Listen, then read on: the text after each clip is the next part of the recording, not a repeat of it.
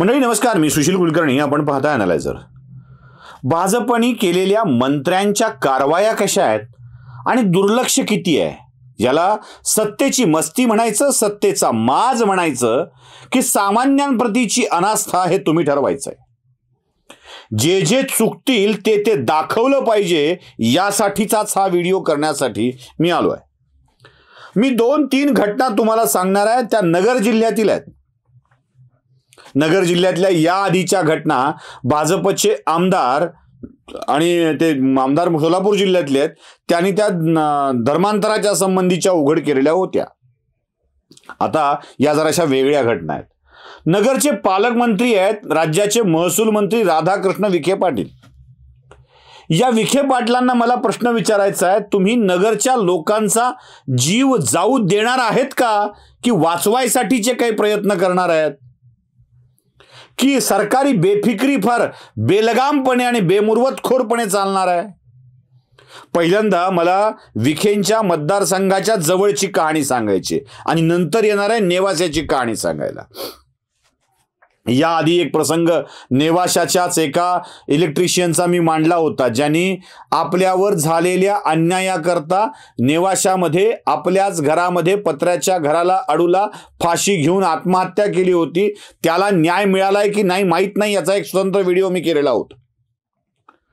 दुसरी घटना आहे कोपरगावची. अहो कोपरगावमध्ये काही वर्षापूर्वी एक मुख्याध्यापक चिठ्ठी लिहितो.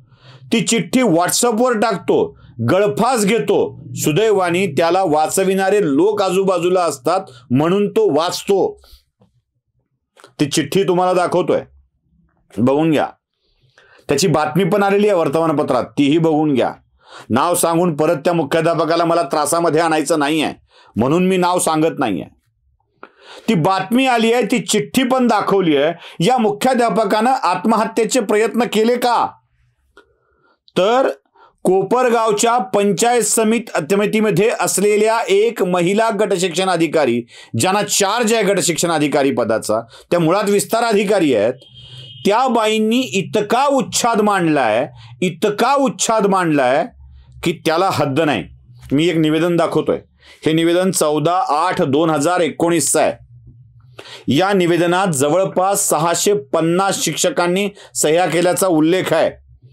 ते या बाईंची तक्रार करतात सहाशे पन्नास शिक्षक. आणि सांगतात की या बाई त्रासदायक आहेत. या अर्जाच्या आधारावर कोपरगावची पंचायत समिती त्यांच्या कार्यमुक्तीचा ठराव घेते. या ठरावाच्या आधारावर बाईला शिर्डीमध्ये पाठवलं जातं तोंडी आदेशाने. आणि काहीच दिवसात परत बोलवून घेतलं जातं. अहो जिथे तीन वर्षानंतर बदली करण्यासाठी सरकार प्रयत्न करतं. चौथ्या पाचव्या वर्षी तर कंपल्सरी बदली करतं. अठरा वर्ष झालं या बाई तिथेच कार्यरत आहेत. तिथेच. अनेकांना आत्महत्या करावी लागते आहे अनेकांचा संसार उघड्यावर पडलाय. प्रचंड त्रास दिला जातोय. या बाई कोणाच्या जवळच्या आहेत? चौदा आठ दोन हजार वीसला तो मुख्याध्यापक आत्महत्या करण्याचा प्रयत्न करतो. या बाईंची बदली एक दोन तीन चार दिवसाकरता होते. पुन्हा चौथ्या पाचव्या आठव्या दिवशी या बाई पुन्हा परत कोपरगावला येतात. शिर्डी राहता कोपरगाव शिर्डी राहता कोपरगाव असा खेळ खेळला जातो. या पदावर शेवटचा गट शिक्षण अधिकारी अठरा वर्षापूर्वी येऊन गेला आणि आत्ता मिळतो तो लगेच मला नको बाबा काम करायचं म्हणून निघून जातो. एवढी या बाईंची ताकद कोणाची आहे? पूर्वी जिल्हा परिषदेमध्ये विखे पाटलांची सत्ता होती. विखे पाटलांची सत्ता असलेल्या काळामध्ये कोणाशी अत्यंत जवळचे संबंध या महिलेचे होते या अधिकारी महिलेचे होते आणि त्या संबंधामुळं हा वचक निर्माण झालेला आहे. सगळ्यांना त्रास देणाऱ्या या बाई विखे पाटलांच्या सगळ्यात जवळच्या माणसांना त्याच ठिकाणी का हव्या आहेत? हा प्रश्न सामान्य शिक्षक विचारतोय आणि उत्तर विखे पाटलांच्याकडे नाही आहे.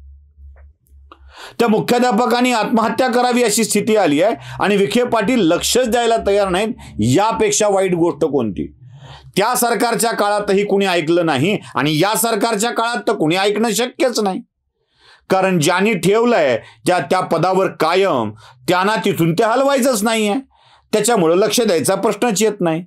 चला विखे पाटील लक्ष देणार नाहीत पण राज्याचे शिक्षण मंत्री लक्ष देतील मुख्यमंत्री लक्ष देतील उपमुख्यमंत्री लक्ष देतील. कोणीतरी लक्ष देऊन या प्रकरणात शिक्षकांचा टांगणीला लावलेला जीव वाचवेल एवढी अपेक्षा करायला हरकत नाही. आता दुसरं निवेदन दाखवतोय नेवाशाचं. घ्या बघून. याही निवेदनामध्ये शेतकरी सरकारला विनंती करतायत की आता आम्हाला मरायची परवानगी द्या. कारण काय माहीत आहे? शंभर दीडशे शेतकऱ्यांच्या शेतात जाणारा एक गाडी रस्ता आहे. गाडी रस्ता गाडी रस्ता. जो रस्ता अचानक काही शेतकऱ्यांनी काही अंतरावर उखडून टाकलाय आणि रस्ता शेतामध्ये घेतलाय. प्रकरण वादग्रस्त झालंय. रस्ता पर्यायी कुठून द्यायचा यावरून खल चाललाय. अ ज्या रस्त्यावर वर्षानुवर्षापासून काम चाललेलं आहे लोक जात आहेत त्या रस्त्याला अचानक बंद केलं जात आहे. मी एक व्हिडिओ दाखवतोय ज्यात तुम्हाला जेसीपीनं रस्ता खोदण्याचं काम चालू आहे लक्षात येईल. बघून घ्या.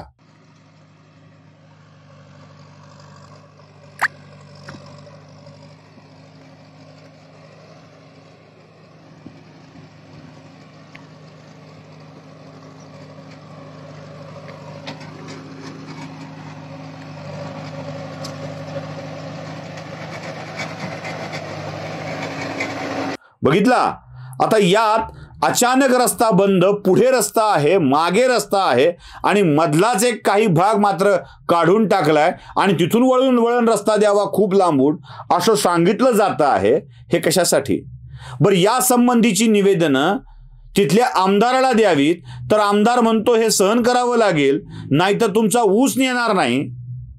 आता ऊस जाणार नाही असाही जात नाही तसाही जात नाही. शेतात जायला रस्ता नसल्यावर ऊस जाणार कसा? आणि ऊस जाळून शेतकऱ्याला त्यात स्वतःला टाकून द्यावं लागेल. आधी आठवा एक प्रसंग याच भागातला आहे. शेतकऱ्यांनी ऊस जाळून दिला होता सगळा. सगळा ऊस जाळून टाकला होता. अ रस्ताच नाही. सामान पेरणी करायला जाता येत नाही निघालेलं सामान काढायला येता येत नाही धान्य काढायला जाता येत नाही की काहीच नाही. मरण्याशिवाय कोणता पर्याय शेतकऱ्यांना उरणार आहे हे जरा मला विखे पाटील त्या भागाचे पालकमंत्री सांगतील का? लोकांच्या मरणापर्यंतची वाट बघितणार जाणार असेल ना तर चुलीत गेलं हे सरकार आणि चुलीत गेलं हे राजकारण असंच म्हणण्याची वेळ येणार आहे हे लक्षात ठेवा. व्हिडिओ आवडला असेल तर लाईक करा शेअर करा. सबस्क्राईब करा. हे करा न करा या भागातल्या लोकांच्या पाठीशी मात्र नक्कीच उभे राहा. धन्यवाद.